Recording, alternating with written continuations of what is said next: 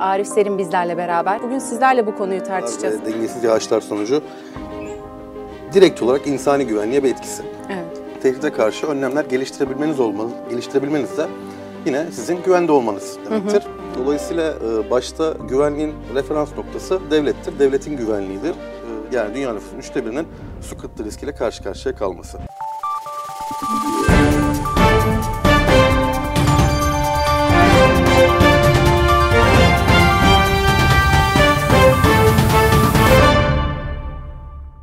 Gelecek programına hoş geldiniz. Bu hafta yine çok değerli bir ismi ağırlıyoruz. Arif Serin bizlerle beraber. Arif Hocam hoş geldiniz. Merhabalar hocam, hoş bulduk. Nasılsınız? Teşekkürler, sizler de iyisiniz. Bizdeyiz. Sizi ağırlıyoruz. Çok daha iyi olduk. Ayağınıza sağlık. Çok teşekkür ederiz. Ben teşekkür ediyorum. Ee, size bu hafta aslında çok ilginç sorularla hazırlanıp geldim. İlginç bir konuyu e, tartışacağız. Çünkü biz iklimi bugüne kadar birçok farklı konuyla yan yana getirdik. Ee, sürdürülebilirlikle ele aldık. Geleceğimizi nasıl değiştirecek iklim, iklim değişikliği dedik, iklim krizi dedik. Aslında iklimi suyla beraber bir arada değerlendirdik. Ancak iklim ve ülkelerin güvenliği ve iklim güvenliği gibi bir konuyu aslında bugüne kadar tartışmadık. Bugün sizlerle bu konuyu tartışacağız. Sizin de uzmanlığınızın bir parçası olaraktan. Biz güvenlik konusunu ele alırken hiç iklimle bir arada değerlendirmemiştik şimdiye kadar. Bu bağlamda öncelikle güvenlik ve iklim ilişkisinden başlamak istiyorum. Nasıl değerlendirmeliyiz? Tamamdır.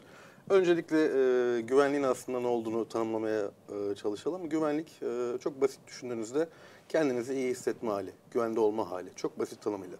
Bu aslında tehditlerin olmaması demek. Tehditler varsa bile sizin bu tehditten kaçabilmeniz, tehdide karşı önlemler geliştirebilmeniz olmanız, geliştirebilmeniz de yine sizin güvende olmanız demektir. Ee, tabii iklim söz konusu olduğunda e, iklim güvenlik ilişkisine hemen geçmeden önce şöyle bir dönüp gündeme baktığımızda aslında iklim ve güvenlik konusunda bir sürü başlık bizim önümüze çıkıyor. Geçtiğimiz günlerde Şanlıurfa'da bir sel felaketi yaşadık. Bu aslında bizim e, aşırı yağışlar ve dengesiz yağışlar sonucu direkt olarak insani güvenliğe bir etkisi. Evet. Geçelim. Ee, 2022'nin başında Rusya-Ukrayna'da bir savaş başladı. Ve biz savaşın ardından e, ülkelerin e, buğdaya, tahıla erişimini konuşmaya başladık. E, çünkü bu ülkelerin e, tahıla erişmeleri çok ciddi bir problemdi. Dolayısıyla bir Karadeniz tahıl koridorunun oluşturulmasına şahit olduk. Çünkü e, Birleşmiş Milletler'in raporuna baktığınız zaman, e, Gıda Tarım Örgütü'nün raporuna e, yaklaşık 25 ülke e, gıda ve e, tahıl ihtiyacını buralardan karşılıyor. %50'sinden fazlasını buralardan karşılıyor. Aslında bu da iklim güvenliği çerçevesinde değerlendirilen bir konu gibi mi? Aslında iklimi hiç e, burada söz konusu etmeseniz bile bir savaşın biz e, nasıl gıda tedarik zincirini bozduğuna şahit olduk. Ki iklim konusuna da geleceğiz. İklim konusuna geldiğimizde aslında bu gıda krizinin, gıda e, tedarik zincirinin bozulmasında çok ciddi etkilerine değineceğiz. Yine e, çok derinden hissettiğimiz Suriye krizine bakalım. Suriye krizinin de ortaya çıkmasında birçok araştırmacı kuraklığın da e, bir etken olduğunu söylüyor. Dolayısıyla aslında iklim güvenlik ilişkisine geçmeden önce e, biz aslında e, güvenlik ve iklim bağlamında birçok soruna e, bizzat içinden şahit oluyoruz, yaşıyoruz, deneyimliyoruz. Çok teşekkür ederim. Aslında böyle söylediğiniz zaman ciddi e, başlıkların her birini e, alt alta sıralamışız gibi hissediyorum. Çünkü mesela Irak'tan bahsettiğimiz zaman, Suriye sü- sürecinden bahsettiğimiz zaman hemen aklıma iklim göçleri geliyor. Birazdan o soruları size yöneltmek istiyorum. Bu bağlamda güvenlik çalışmaları peki iklimi nasıl değerlendiriyor, nasıl ele alıyor? Mesela ekolojik güvenlik ya da çevre güvenliği gibi başlıklar halinde mi değerlendiriyoruz ya da niteliyoruz? Nasıl değinirsiniz? Şimdi aslında güvenlik çalışmaları e, ilk ortaya çıktığında e, devlete referans alır. Zaten güvenlik çalışmalarında e, siz neyin güvenliğini e, sağlayacaksınız, nasıl sağlayacaksınız? Aslında güvenlik çalışmalarının e, temelinde bu sorular vardır. Dolayısıyla e, başta güvenliğin referans noktası devlettir. Devletin güvenliğidir. Devletin güvenliği siz nasıl sağlarsınız? Askeri güçle sağlarsınız. Ancak 1970'lerden itibaren e, yeni yeni güvenlik soruları ve güvenlik sorunları da güvenlik çalışmalarının içine girmeye başlamıştır. Bunlardan bir tanesi e, bahsedeceğimiz ekolojik güvenlik, çevre güvenliği, ekonomik güvenlik, enerji güvenliği gibi gibi gibi. Yine insani güvenlik, Su e, güvenliği. su güvenliği gibi birçok konu. Yani aklınıza gelebilecek aslında her kavramın güvenliği e, söz konusu haline geliyor. Ki 2000'ler itibariyle siber güvenlik başka bir konu. Dolayısıyla e, Soğuk Savaş sonrasında biz iklimin de artık bir güvenlik e, sorunu olarak yazında ele alınmaya başlandığını görüyoruz. Güvenlik çalışmalarının içinde ekolojik güvenlik çalışmaları da ayrı bir dal olarak gelişiyor. Şimdi burada iki türlü yaklaşım var. Bir tanesi e, ekolojik bozulma bir güvenlik sorunu yaratıyor, çatışma yaratıyor ve biz bu tehdidi nasıl bertaraf ederiz? İkinci görüşte insan yaşamı ve ekosistemler arası karşılıklı bağlılığı, e, karşılıklı e, ilişkiyi ele alarak devlet merkezliği sorgulayan bir bakış açısıyla.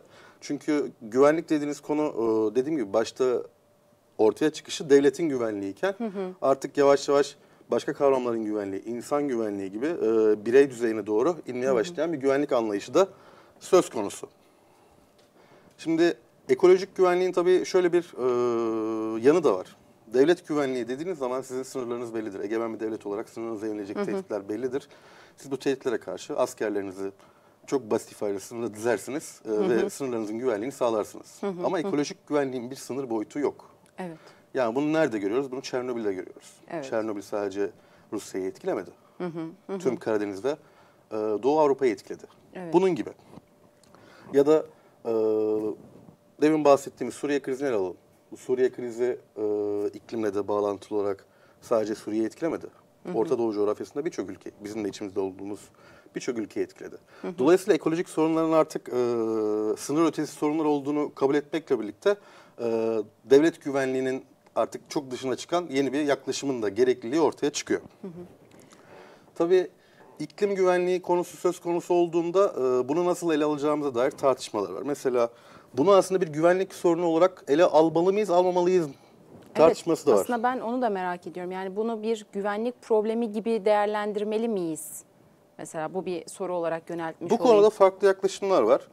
Ee, ilk grup diyor ki iklimi evet bir biz güvenlik problemi olarak ele almalıyız. Şundan dolayı merak ediyorum hocam.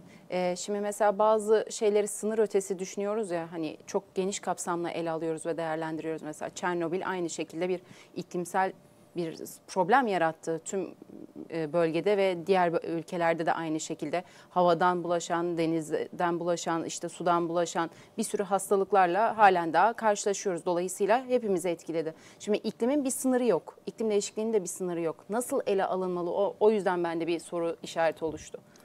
Şimdi iklimi güvenlik problemi olarak e, ele alalım diyen bir grup var. Diyorlar ki bunlar bu bir tehdit çarpanıdır. Güvenliği çok ciddi etkiler. Şiddetli çatışmaları da kaynaktır.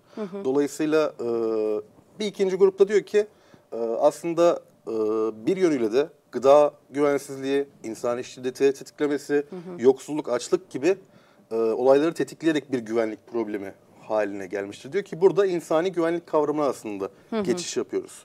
1994 yılında Birleşmiş Milletler insani ka- güvenlik kavramını ortaya atıyor. Burada mesela bas, başlıca e, ortaya attıkları kavramlar ekonomik güvenlik, gıda güvenliği, sağlık güvenliği, çevresel güvenlik, kişisel güvenlik, topluluk güvenliği, siyasi güvenlik. Başlıklara baktığımız zaman ekonomik güvenlik bizzat iklimle ilgili, insani güvenlik boyutunda, gıda güvenliği konuştuk. Sağlık güvenliği, e, bulaşıcı hastalıklar ve e, yine e, zehirlenme gibi, yetersiz beslenme gibi. Ya da işte sağlık güvenliğine geldiğinizde yine temel sağlık hizmetlerine sizin erişememeniz gibi. Çevresel güvenlik zaten adı üstünde. E, Çevresel güvenlik, çevresel e, bozulma, kaynakların tükenmesi gibi, doğal afetler, kirlilik gibi başlıkları öne alıyor.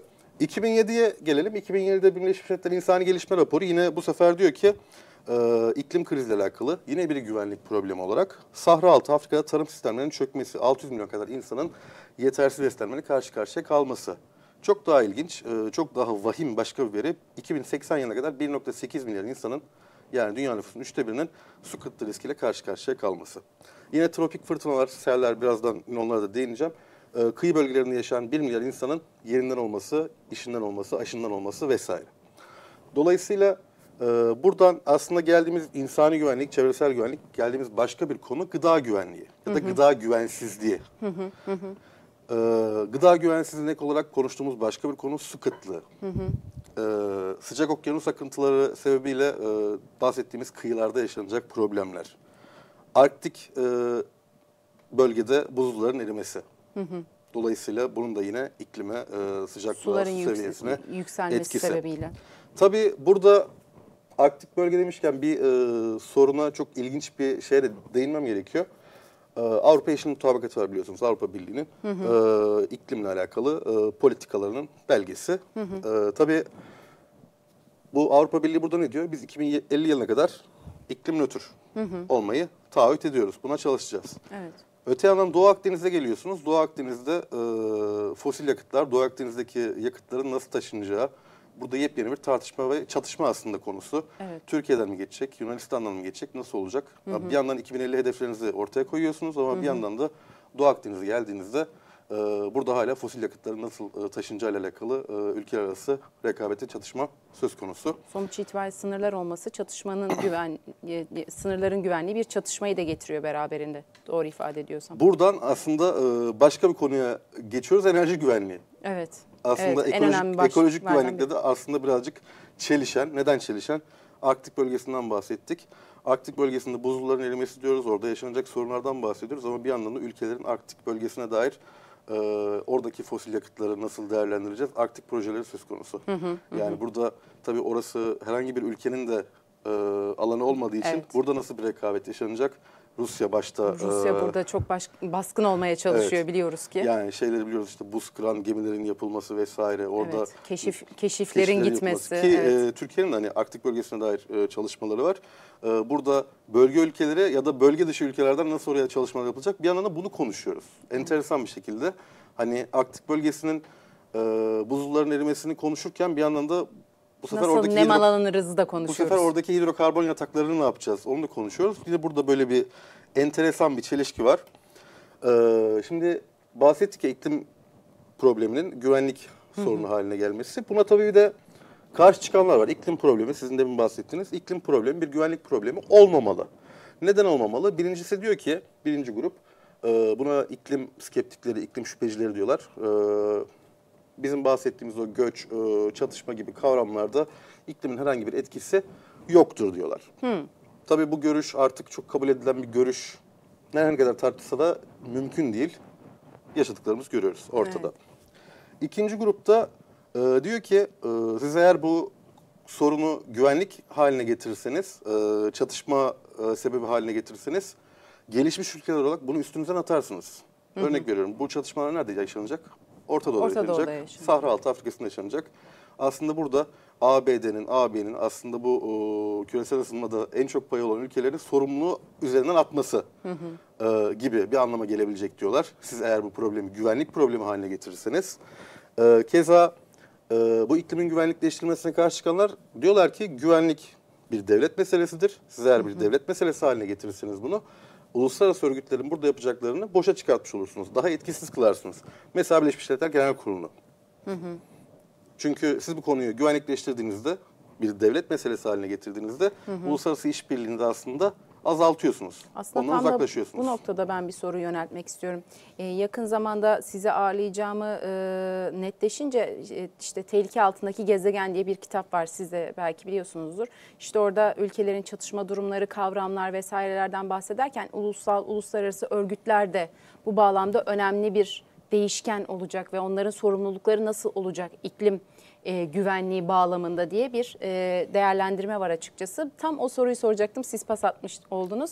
E, oradan devam edebiliriz isterseniz.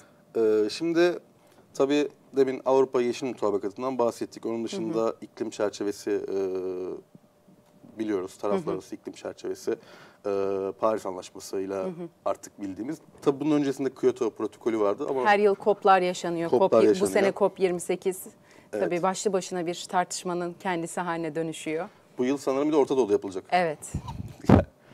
Ee, dolayısıyla bu COP'lar e, Paris Anlaşması öncesinde Kyoto Protokolü aslında e, yaz, uluslararası ilişkiler yazılımında şu bile tartışılıyor. Kyoto Protokolü neden e, başarısız oldu da hani e, Paris İklim Anlaşması aslında daha e, verimli oldu ülkeler açısından.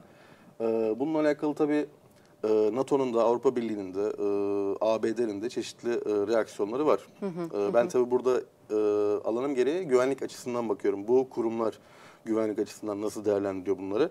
Evet. Ee, burada mesela e, CIA'in e, da içinde bulunduğu e, Intelligence Community dediğimiz Intelligence Committee'nin e, istihbarat toplumunun e, bir 2040 iklim değişikliği ve güvenlik raporu var mesela. Çok ilginç. Amerika Birleşik Devletleri'ndeki 18 istihbarat teşkilatının bir araya gelerek oluşturduğu o Ulusal İstihbarat Konseyi'nin ki ilginçtir yani e, istihbarat teşkilatı olarak hani dedik ya güvenlik aslında devletin konusudur. İstihbarat da aslında e, devletin e, güvenliğini sağlamakla alakalı e, bir kurumdur, bir mekanizmadır. Ama Artık e, nasıl güvenlik kavramı genişlediyse tehdit listesi de genişledi. Dolayısıyla istihbarat teşkilatlarının da bu noktada e, geri kalmadığını, e, var olan bir tehdit varsa bu tehdide karşı neler yapılabilir, bu tehditle alakalı e, analizler nedir, bunları e, karar verici sunduğunu görüyoruz. Mesela Uluslararası İstihbarat Tahmini'nin o 2040 yılına dair e, çok önemli başlıkları var. Güvenlik problemi olacak başlıklar. Mesela. Mesela demişler ki kuraklıklar gelişmekte olan ülkelerde gıda güvenliği baltalayacak, aşırı orman yangınları çıkacak, siyasi iktidarsızlık artacak ve göçü artıracaktır. Ki e, demin bahsettiğimiz e, o iklim krizi güvenlik sorunu olamaz diyen arkadaşları boşa çıkaran bir aslında Aynen öyle tam onu e, bir söyleyecektim. yaklaşım.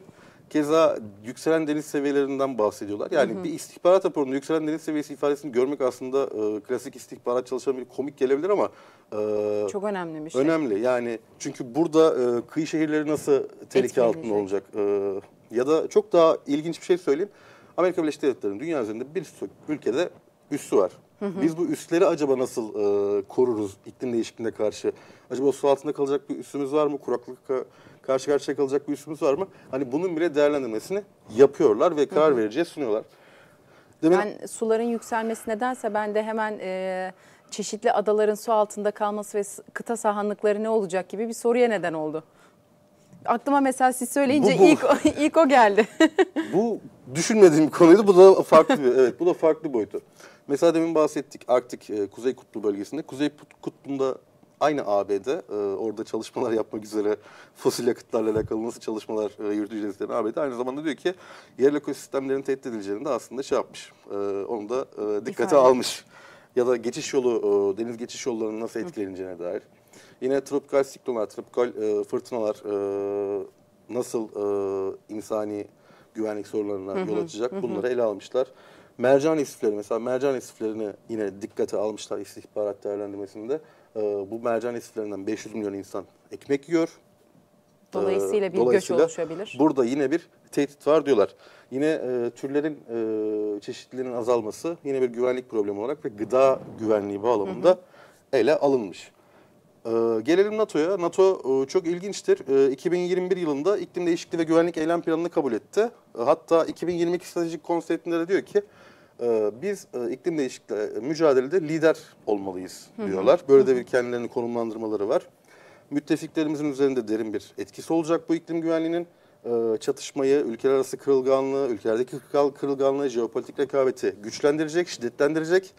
Dolayısıyla yine onlar da artan sıcaklıklara, deniz seviyesinin yükselmesine, orman yangınlarına, aşırı e, hava olaylarına, ekstrem hava olaylarına hem müttefiklerin nasıl etkileyeceğine, hem güvenliğin nasıl etkileneceğine, silahlı kuvvetlerin çalışma şeklini nasıl etkileyeceğine, NATO'nun altyapılarının, üslerinin, varlıklarının nasıl etkileneceğine dair e, çalışmalar yapmışlar ve buna göre e, onlar da pozisyon almaya çalışıyorlar.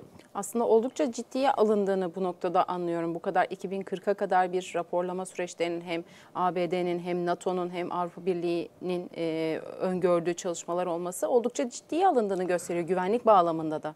Ki 2022 konseptinden bahsetmiştim. NATO'nun 2030 vizyon belgesi var. Orada da tabii e, birincil e, güvenlik problemlerinden olan yine iklimi onlar oraya da koymuş durumdalar. Peki bu noktada hemen bölmüş olayım hocam ama e, Türkiye'nin iklim stratejisi diye bir şeyden bahsetmemiz mümkün mü? Türkiye'nin de böyle bir hazırlık süreci var mı diye sormak isterim açıkçası. Şimdi bir NATO ülkesiyiz tabii ki o raporun bir parçası olarak mutlaka ki değerlendiriliyordur. Ancak Türkiye'nin stratejik bir bağlamda yaklaşımı var mı buna? Türkiye e, direkt olarak e, iklim ve güvenlik ilişkisini bir arada düşünüp e, iklim güvenliği konusunda adımlar atan bir ülke değil. Ama e, geçtiğimiz gün e, Boğaziçi'nde iklim zirvesini yaptıktan sonra ben e, bu kez e, hemen hafta başında İstanbul Güvenlik Forumu'na katıldım. Cumhurbaşkanlığı için Başkanlığı'nın düzenlediği. Orada e, güvenlik konuşanlar, e, açılış konuşmalarından itibaren oturumlara da bu yansıdı. İklim e, bir problem olarak elbette görülüyor. Dünya etkileyecek bir problem olarak. Ama ülke olarak, ülke özelinde direkt bir güvenlik e, odaklı çalışma yok. Tabii 2004 yılında Birleşmiş Milletler İklim Çerçeve Sözleşmesi'ne üye olduk. E, 2007 yılında ulusal bildirimizi sunduk. 2009 yılında Kyoto Protokolü'ne imza attık. E, 2015'te Paris Anlaşması'na imza attık. 2016'da imzaladık. Ee, onun dışında Geçen sene COP27'de çok ciddi vaatlerde bulunduk. Yükselişten artışa geçeceğimize dair. bir- 2030-2053 olarak Evet, güncelledik. evet. Tabii yine İklim e, ve Şehircilik Bakanlığı'nın yayınladığı raporlar var. Türkiye Cumhuriyeti İklim Değişikliği Eylem Planı var. E, Türkiye'nin İklim Değişikliği Uyum Stratejisi ve Eylem Planı var. Dolayısıyla e, bu noktada hani e, Türkiye'ye ne görev düşüyor, hangi kurumlar hangi paylaşımlarla, hangi görevlerle iklim sorununu ele alacak elbette çalışmalar var ama direkt güvenlik olarak Henüz çalışılmıyor. Öyle bir belge yok ama e, yani geçtiğimiz yıl e, Çevre Şehircilik Bakan Yardımcısı Mehmet Emin Birpınar'ın açıklamasında bir basın açıklaması iklim değişikliği direkt bir milli güvenlik sorunudur ifadesi de var. Hani dolayısıyla e, karar verici açısından evet güvenlik problemi olarak görünüyor ama tabii diğer ülkelerdeki gibi çok ciddi bir e, güvenlik meselesi olarak yaklaşımı yok. Tabii bu ülkelerin güvenlik kültürleri de alakalı. Yani e, Evet. bu belgeler e, Amerika Birleşik Devletleri'nde, e, Avrupa Birliği, NATO'da hep yayınlanır ama Türkiye bu konuda aynı şeydir. Güvenlik belgesi çok yayınlanan bir şey değildir yani. Dolayısıyla e, o biraz da ülkelerin kültürlerle alakalı. Mutlaka güvenlikle alakalı karar vericinin önünde Türkiye'de e, tehdit olacak noktalar, e, sorun yaratacak noktalar gidiyordur. Ama tabii bunu e, bilmemiz mümkün değil açık Evet. kaynaklarda. Çünkü Türkiye özellikle sormak istedim. Çünkü e, bahsettiğiniz başlıklarda şu çok e, dikkatimi çekti. Özellikle iklim krizini söyledikten sonra kuraklığı söyledikten sonra işte su yönetimi, işte gıda arzının karşılanamaması ve bunun bir tehlike oluşturması gibi şeylerden bahsettiğimizde hep bir şekilde göçlere geliyor. Yani biz de sonuç itibariyle yakın zamanda da çok göç aldık. E, kuraklıkla karşı karşıyayız. Belki de biz yarın öbür gün bir iklim göçünün parçası olmak durumunda kalacağız. E, gelecek yıllarda umarım öyle olmaz. Su politikamızı daha gelişkin bir halde e, etkili bir şekilde kullanabiliriz, yönetebiliriz. Ancak e, bu noktada sanki Türkiye'nin birazcık daha buna sahip çıkması gerekiyormuş gibi bir hissiyat oluştu bende. O yüzden öyle bir soru sordum. Yani elbette e, Türkiye göçlerden etkilenen bir ülke ama henüz bunu iklim göçü olarak yaşamıyor belki de. O yüzden e, Evet, çok belki. şu an konuşmuyor olabiliriz. Ama önümüzdeki yıllarda işte bu 2040 vizyonlarında, 2030 vizyonlarında görüyoruz ki iklim göçleri yaşanacak. E, mesela yine bir örnek paylaşmak isterim. Lütfen. Yani biz bir kere mesela Arktik buzulun erimesi, su seviyesinin yükselmesiyle kıyıların, e, kıyı şehirlerinin e, yok olma tehditle karşı karşıya kalmasından bu insanlar nereye gidecek? Yani Evet. Burada bir kere hani iklim göçü direkt yaşayacağız. Aynen Yaşayarak göreceğiz. Keza Kuraklık aynı şekilde. kuraklık aynı şekilde. Kuraklıkla mesela e, bu sefer başka bir konuya gelelim. E, ticari güvenlik konusuna da değinmek isterim. Lütfen. Mesela ABD'de e, nehirlerde ve e, göl ulaşımlarında e, kuraklık nedeniyle hem maliyetler artacak hem de bu e, ulaşım zorlaşacak. Bu bir boyutu. Çok ilginçtir. E, demir yollarının etkilenme ihtimali var. Çünkü e, aşırı sıcaklıktan dolayı Evet. onlarda da e, bir e, problem yaşanabilir. Tekrar yine ulaşım güvenliği ulaşım güvenliği ve ticaret geliyoruz. güvenliği de bu bağlamda önemli hale geliyor yanlış anlamıyorsam. deniz ticaret noktaları, deniz geçiş noktaları ki geçen yılda sanırım Süveyş kanalını bir gemi kapattı. Evet. Yani birkaç gün yaşanılan o kriz düşünün, o biriken gemileri düşünün.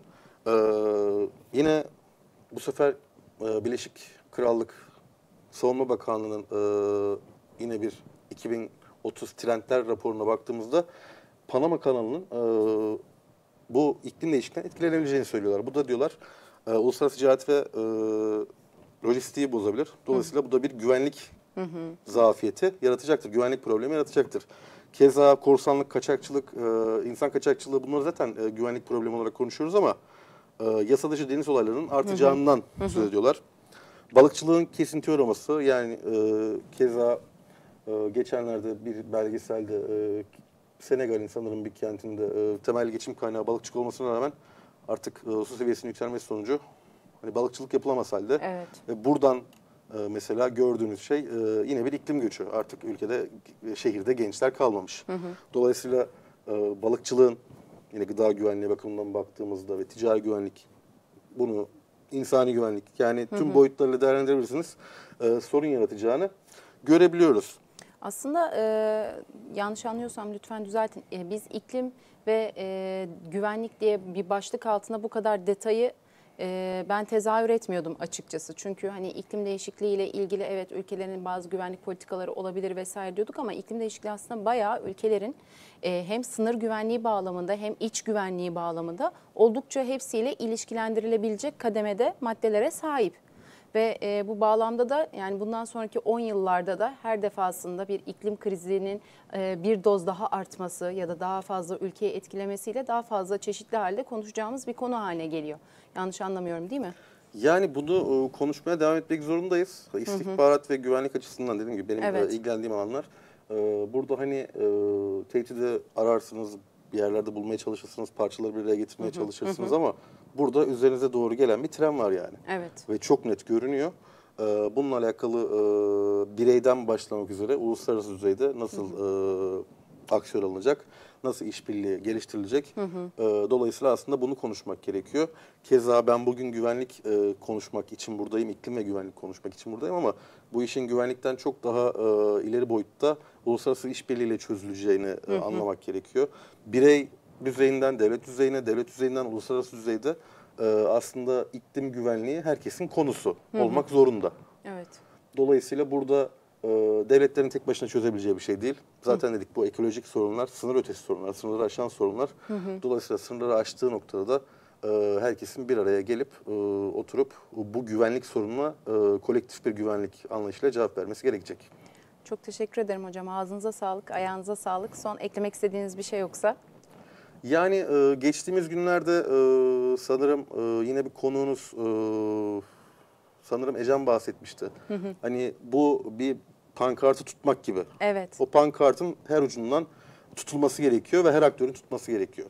Dolayısıyla e, bir noktasını boş bıraktığınızda olmaz. Evet. Dolayısıyla iklim e, krizi hani güvenlik bunu güvenlik boyutunu da bir kenara bırakın. E, hepimizin karşı karşıya kalacağı, kalmakta olduğu bir sorun. E, ve dediğim gibi hani tren geliyor karşıdan. E, dolayısıyla herkesin bir önce e, elini taşın altına koyup ne yapması gerekiyorsa yapması lazım. Çok teşekkürler hocam. Ayağınıza sağlık, ayağınıza sağlık. Ben teşekkür ederim. İklim ve Gelecek programından bu haftalık bu kadar. Önümüzdeki hafta görüşmek üzere. Hoşçakalın.